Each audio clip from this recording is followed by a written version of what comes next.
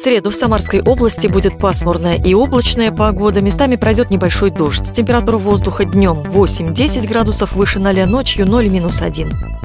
В Сызрани пасмурное небо, осадки в виде дождя. Днем плюс 9 градусов, ночью нулевая температура. Ветер северо-восточный, скорость 3 метра в секунду.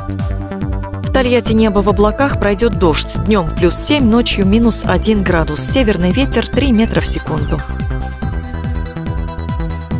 Самаре малооблачно, небольшой дождь, возможно гроза. Дневная температура плюс 8 градусов, ночью минус 1.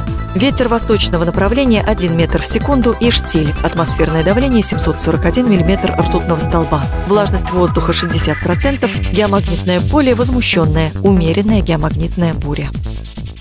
Прогноз погоды предоставлен независимым городским сайтом samara24.ru.